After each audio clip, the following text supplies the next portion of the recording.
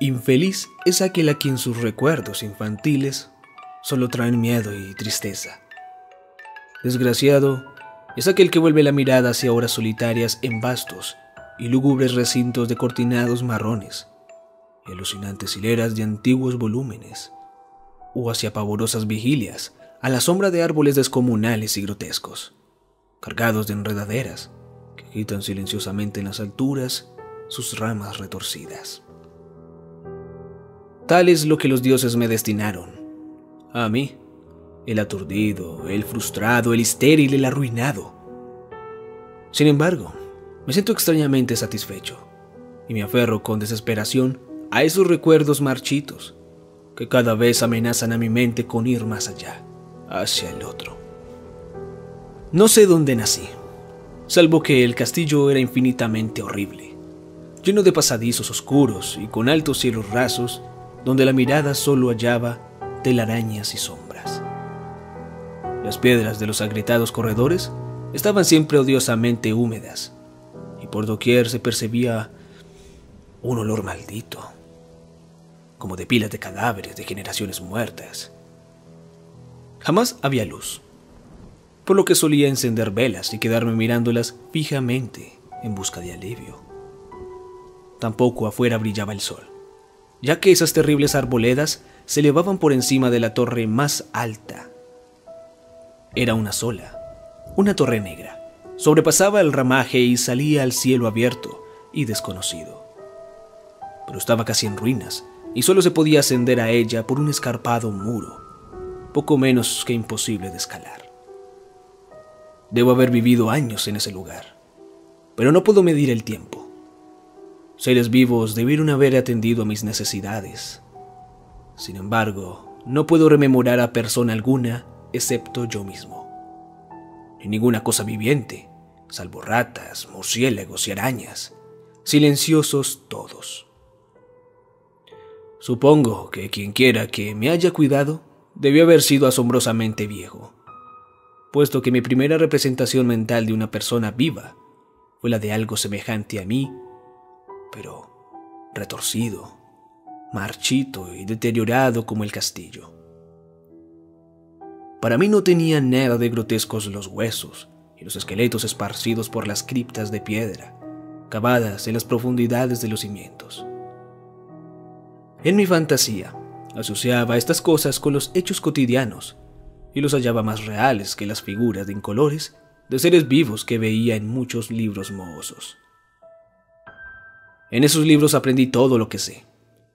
Maestro alguno me urgió o me guió. Y no recuerdo haber escuchado en todos esos años voces humanas. Ni siquiera la mía. Ya que había leído acerca de la palabra hablada, pero nunca se me había ocurrido hablar en voz alta. Mi aspecto era asimismo una cuestión ajena a mi mente, ya que no había espejos en el castillo y me limitaba por instinto a verme como un semejante de las figuras juveniles que veía dibujadas o pintadas en los libros. Tenía conciencia de la juventud a causa de lo poco que recordaba. Afuera, tendido en el putrido foso, bajo los árboles tenebrosos y mudos, solía pasarme horas enteras soñando lo que había leído en los libros. Añoraba verme entre gente alegre, en el mundo soleado, allende de la floresta interminable. Una vez traté de escapar del bosque, pero a medida que me alejaba del castillo las sombras se hacían más densas y el aire más impregnado de crecientes temores. De modo que eché a correr, frenéticamente, por el camino andado. No fuera a extraviarme en un laberinto de lúgubre silencio. Y así, a través de crepúsculos sin fin, soñaba y esperaba, aun cuando no supiera qué, hasta que en mi negra soledad el deseo de luz se hizo tan frenético que ya no pude permanecer inactivo y mis manos suplicantes se elevaron hacia esa única torre en ruinas, que por encima de la arboleda se hundía en el cielo exterior e ignoto. Y por fin resolví escalar la torre, aunque me cayera, ya que era mejor vislumbrar un instante el cielo y perecer que vivir sin haber contemplado jamás el día. A la húmeda luz crepuscular subí los vetustos peldaños de piedra hasta llegar al nivel donde se interrumpían, y de allí en adelante, trepando por pequeñas entrantes donde apenas cabía un pie, seguí mi peligrosa ascensión. Horrendo y pavoroso era aquel cilindro rocoso, inerte y sin peldaños, negro, ruinoso y solitario, siniestro con su mudo aleteo de espantados murciélagos. Pero más horrenda aún era la lentitud de mi avance, ya que por más que trepase, las tinieblas que me envolvían no se disipaban y un frío nuevo, como de moho venerable y embrujado, me invadió. Tiritaba de frío, me preguntaba por qué no llegaba la claridad, y de haberme atrevido, habría mirado hacia abajo. Se me antojó que la noche había caído de pronto sobre mí, y en vano tanté con la mano libre en busca de antepecho de alguna ventana por la cual espiar hacia afuera y arriba y calcular a qué altura me encontraba. De pronto, al cabo de una interminable y espantosa ascensión a ciegas, por aquel precipicio cóncavo y desesperado, Sentí que la cabeza tocaba algo sólido. Supe entonces que debía haber ganado la terraza, o cuando menos alguna clase de piso. Alcé la mano libre y en la oscuridad palpé un obstáculo, descubriendo que era una piedra e inamovible. Luego vino un mortal rodeo a la torre, aferrándome de cualquier soporte que su viscosa pared pudiera ofrecer. Hasta que finalmente mi mano, tanteando siempre, halló un punto donde la valla cedía y de la marcha hacia arriba, empujando la losa o puerta con la cabeza, ya que utilizaba ambas manos en mi cauteloso avance. Arriba no apareció luz alguna, y a medida que mis manos iban más y más alto, supe que por el momento mi ascensión había terminado, ya que la puerta daba una abertura que conducía a una superficie plana de piedra, de mayor circunferencia que la torre inferior sin duda el piso de alguna elevada y espaciosa cámara de observación. Me deslicé sigilosamente por el recinto, tratando que la losa no volviera a su lugar, pero fracasé en mi intento. Mientras yacía, exhausto, sobre el piso de piedra, oí el alucinante eco de su caída. Pero con todo tuve la esperanza de volver a levantarla cuando fuese necesario. Creyéndome ya a una altura prodigiosa, muy por encima de las odiadas ramas del bosque. Me incorporé fatigosamente y tanté la pared en busca de alguna ventana que me permitiese mirar por primera vez el cielo y esa luna y esas estrellas sobre las que había leído. Pero ambas manos me decepcionaron, ya que todo cuanto hallé fueron amplias estanterías de mármol cubiertas de aborrecibles cajas oblongas de inquietante dimensión. Más reflexionaba y más me preguntaba, ¿qué extraños secretos podía albergar aquel alto recinto construido a tan inmensa distancia del castillo subyacente? De pronto mis manos tropezaron inesperadamente con el marco de una puerta, de cual colgaba una plancha de piedra de superficie rugosa, a causa de las extrañas incisiones que la cubrían. La puerta estaba cerrada, pero haciendo un supremo esfuerzo, superé todos los obstáculos y la abrí hacia adentro. Hecho esto, me invadió el éxtasis más puro jamás conocido. A través de una ornamentada verja de hierro y en el extremo de una corta escalinata de piedra que ascendía desde la puerta recién descubierta, brillando plácidamente en todo su esplendor, estaba la luna llena, a la que nunca había visto antes, salvo en sueños y en vagas visiones, que no me atrevía a llamar recuerdos. Seguro ahora de que había alcanzado la cima del castillo, subí rápidamente los pocos peldaños que me separaban de la verja. Pero en eso una nube tapó la luna, haciéndome tropezar. Y en la oscuridad tuve que avanzar con mayor lentitud. Estaba todavía muy oscuro cuando llegué a la verja, que hallé abierta tras un cuidadoso examen, pero que no quise transponer por temor a precipitarme desde la increíble altura que había alcanzado. Luego volvió a salir la luna. De todos los impactos imaginables, ninguno tan demoníaco como el de lo insondable y grotescamente inconcebible.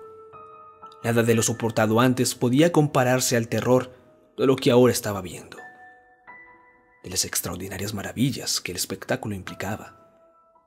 El panorama en sí era tan simple como asombroso, ya que consistía meramente en esto. En lugar de una impresionante perspectiva de copas de árboles vistas desde una altura imponente, se extendía a mi alrededor al mismo nivel de la verga, nada menos que la tierra firme, separadas por compartimentos diversos por medio de lajas de mármol y columnas, y sombreada por una antigua iglesia de piedra cuyo devastado capitel brillaba fantasmagóricamente a la luz de la luna. Medio inconsciente, abrí la verga y avancé bamboleándome por la senda de grava blanca que se extendía en dos direcciones. Por aturdida y caótica que estuviera mi mente, persistía en ella ese frenético anhelo de luz. Ni siquiera el pasmoso descubrimiento de los momentos antes podía detenerme. No sabía, ni me importaba. Si mi experiencia era locura, enajenación o magia, pero estaba resuelto a ir en pos de luminosidad y alegría a toda costa. No sabía quién era yo o qué era, ni cuáles podían ser mi ámbito y mis circunstancias. Sin embargo, a medida que proseguía mi tan valiente marcha, se insinuaba en mí una especie de tímido recuerdo latente que hacía mi avance no del todo fortuito. Sin rumbo fijo por camino abierto, unas veces sin perder de vista el camino, otras abandonándolo por internarme, lleno de curiosidad, por praderas en las que solo alguna ruina ocasional revelaba la presencia, en tiempos remotos, de una senda olvidada. En un momento dado, tuve que cruzar nadando un rápido río, cuyos restos de mampostería agrietada y mozos hablaban de un puente mucho tiempo atrás desaparecido. Habían transcurrido más de dos horas cuando llegué a lo que aparentemente era mi meta. Un venerable castillo cubierto de hiedras, enclavado en un gran parque de espesa arboleda, de alucinante familiaridad para mí, y sin embargo lleno de intrigantes novedades. Vi que el foso había sido rellenado y que varias de las torres que yo bien conocía estaban demolidas al mismo tiempo que se ergían nuevas alas que confundían al espectador. Pero lo que observé con el máximo interés y deleite fueron las ventanas abiertas, inundadas de esplendorosa claridad y que enviaban al exterior ecos de la más alegre de las francachelas. Adelantándome hacia una de ellas, miré al interior y vi un grupo de personas extrañamente vestidas que departían entre sí con gran jarana como jamás había oído la voz humana, apenas si podía adivinar vagamente lo que decían. Algunas caras tenían expresiones que despertaban en mí remotismos recuerdos, otras me eran absolutamente ajenas. Salté por la ventana y me introduje en la habitación, brillante, iluminada, a la vez que mi mente saltaba del único instante de esperanza al más negro de los desalientos la pesadilla no tardó en venir.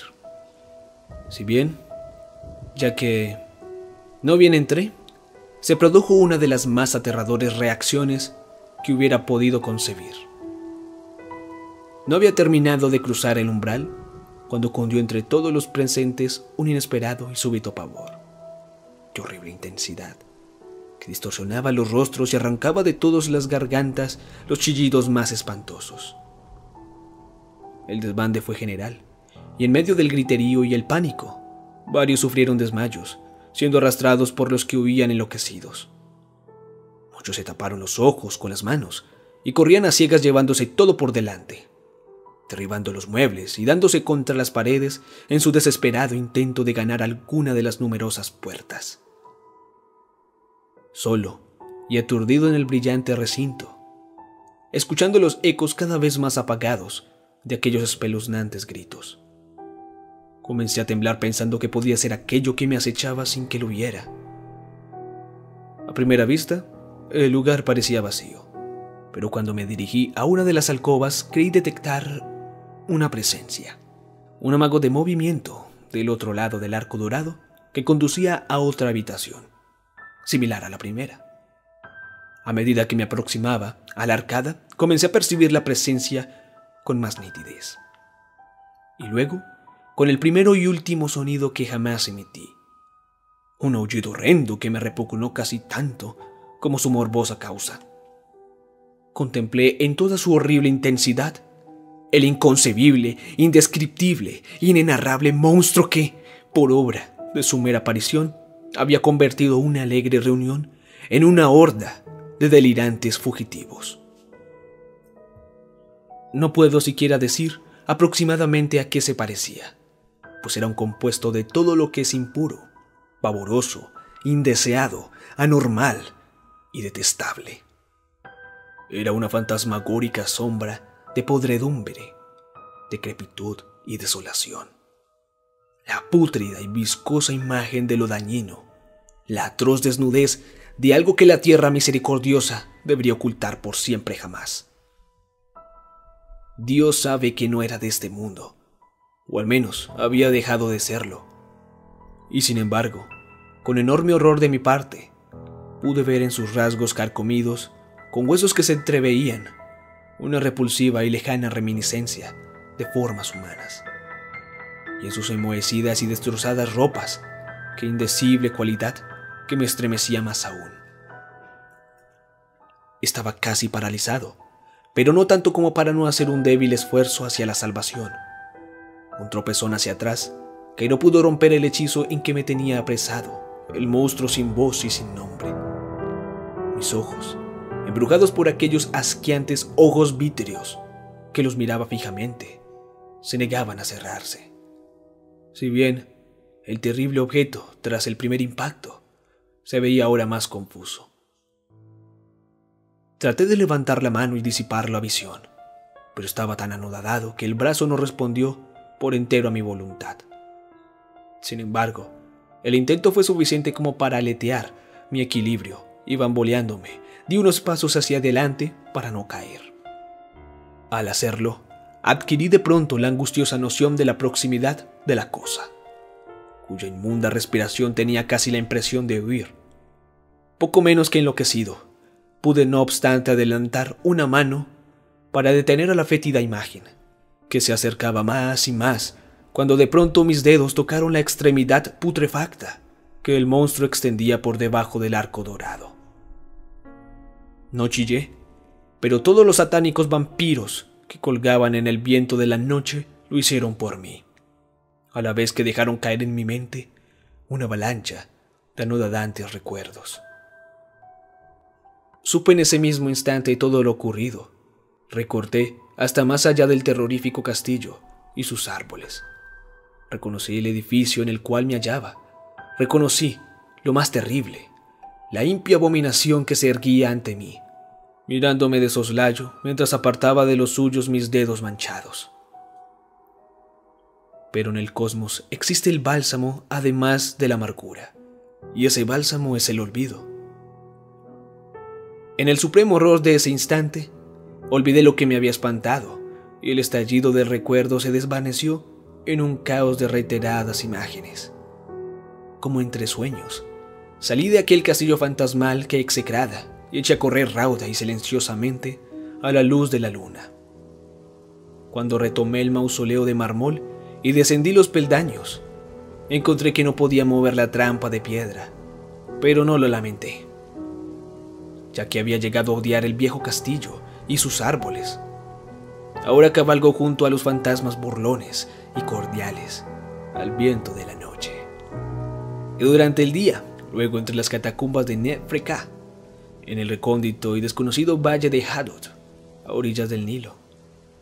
Sé que la luz no es para mí, salvo la luz de la luna sobre las tumbas de roca de Neb, como tampoco lo es para mí la alegría salvo las innominables fiestas de Nitroquis bajo la gran pirámide. Y sin embargo, en mi nueva y salvaje libertad agradezco casi la amargura de la alineación, pues aunque el olvido me ha dado la calma, no por eso ignoro que soy un extranjero, un extraño a este siglo y a todos los que aún son hombres. Esto es lo que supe desde que extendí mis dedos hacia esa cosa abominable que surgía en aquel gran marco dorado desde que extendí mis dedos y toqué la fría e inexorable superficie del púlido espejo.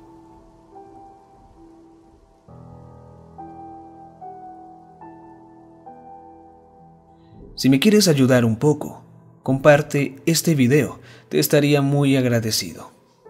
Si aún no haces parte del canal, te invito a que te suscribas para que puedas seguir viendo más videos como este. También te recomiendo que actives la campanita de notificaciones, así estarás al tanto de cuando suba un video al instante. Recuerda que... Te ha hablado la voz de la oscuridad. Y hasta pronto.